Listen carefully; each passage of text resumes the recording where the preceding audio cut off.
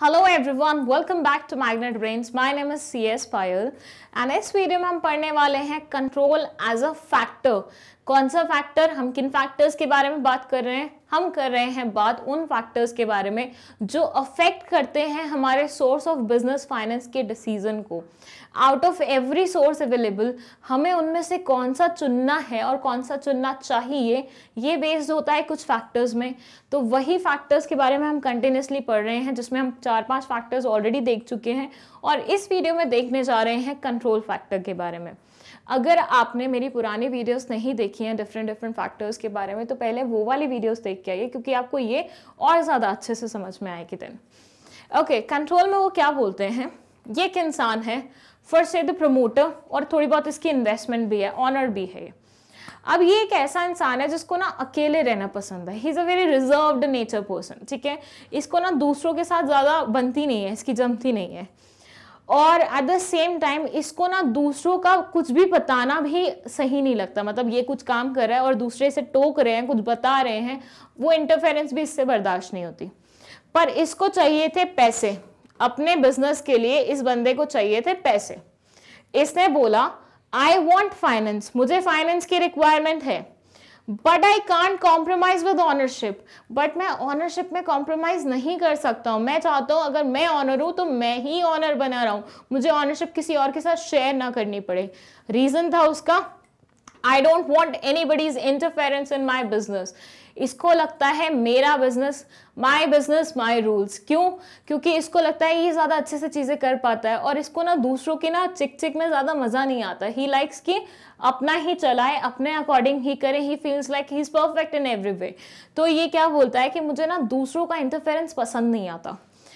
Should I take equity फिर ये question कर रहा है। अब इसके पास ज़्यादा नॉलेज नहीं थी फाइनेंस से रिलेटेड इसलिए इसने क्वेश्चन किया। ये जिस इंसान से बात कर रहा है, उसको थोड़ी बहुत फाइनेंस की नॉलेज है। तो इस इंसान से पूछ रहा है कि यार, मेरे को ना ये ये चीज़ें हैं, ये ये मेरे डिमांड्स हैं, ये ये मेरी चीज़ें मतलब जो मेन पॉइंट्स थे मैंने आपको बता दिए।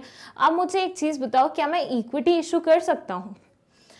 अब कोई भी समझदार इंसान इस चीज़ को सुनेगा तो क्या बोलेगा? मतलब व्हाट डू यू थिंक आपका क्या आंसर होगा?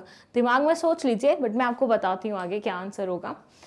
इस इंसान ने बोला सामने वाले ने, जिससे ये बात कर रहा था no equity shareholders have controlling rights आप अगर इक्विटी शेयर करने के बारे में सोच इशू करने के बारे में सोच रहे हैं, अगर मैं आपको बता दूँ, हम जब इक्विटी इशू करते हैं, हम शेयर्स के वे में करते हैं, ये हैं हमारे शेयर्स अब जो भी इंसान ये शेयर खरीदेगा हमसे जो भी इंसान ये शेयर खरीदेगा हमसे, वो क्या बन जाएगा? शेयर होल्डर बन जाएगा। और हमने पढ़ा हुआ है शेयर होल्डर कौन होता है? शेयर होल्डर होता है ऑनर ऑफ़ द कंपनी अगर शेयर होल्डर ऑनर बन जाता है तो उसके पास क्या आ जाती हैं? कंट्रोलिंग राइट्स आ जाती हैं। उसके पास कंट्रोलिंग अथॉरिटी आ जाती है। वो भैया मतलब बिज़नेस का क्या बन गया? मालिक बन गया है। और अगर आप सोच रहे हैं इक्विटी इशू करने के बाद में, जहाँ आपने इक्विटी इशू की, वहाँ पे बहुत सारे शेयर होल्डर्स आ जाएँगे। मतलब आपको अपनी ऑनरशिप थोड़ी बहुत छोड़नी पड़ेगी। आपकी ऑनरशिप डायल्यूट होगी ही होगी। आपकी ऑनरशिप क्या होगी?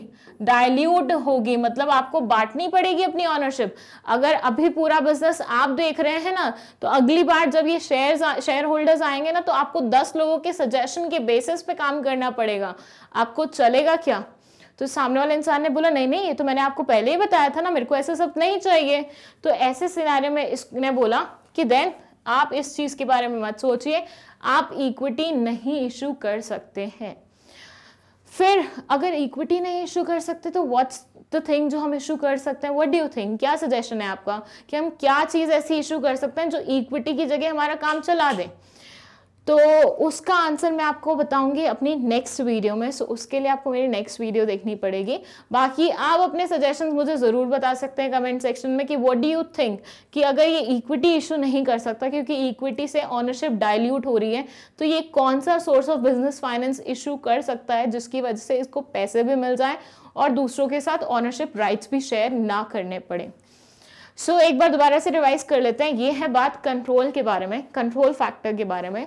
ये बोलता है ये एक इंसान था जिसने पैसे तो चाहिए थे लेकिन वो ऑनरशिप राइट्स को नहीं छोड़ना चाहता था। वो चाहता था ऑनरशिप कंप्लीटली मेरी हो, कोई और इंटरफेयर नहीं करे। ऐसे सिनारियों में इसने क्वेश्चन पूछा कि क्या मैं इक्विटी इशू कर सकता हूँ? तो सामने वाले इंसान ने बोला, नहीं, आप इक्विटी इशू नहीं कर सकते। क्योंकि जहाँ आपने इक्विटी इशू की, वहाँ पे आपके जो ऑनरशिप राइट्स होंगे, वो कहीं ना कहीं क्या हो जाएँगे? डायल्यूट हो जाएँगे। As a result of which equity issue करना was in a right decision here but मैंने आपसे एक क्वेश्चन पूछा है। दैट क्वेश्चन इज़ कि अगर ये इक्विटी नहीं इशू कर सकता, क्योंकि इसको ऑनरशिप डायल्यूट नहीं करनी तो ये ऐसा कौन सा बिज़नेस फाइनेंस का सोर्स चुन सकता है, जिससे इसका काम भी पूरा हो जाए और इसको डायल्यूशन भी ना हो ऑनरशिप का? आप मुझे बता रहे हैं कमेंट सेक्शन में, और अगर आपको नहीं पता तो मेरी नेक्स्ट वीडियो का इनिशियल स्टेज देख लीजिएगा, मैं आपको वहाँ पे आंसर करूँगी। That's it for this video in our upcoming video will be talking about one another source of business finance का factor so stay tune for that और नोट्स चाहिए तो जाइए मैग्नेट रेंज डॉट कॉम पे. That's the official website जिसका link आपको मिल जाएगा डिस्क्रिप्शन बॉक्स में. That's it thank you so much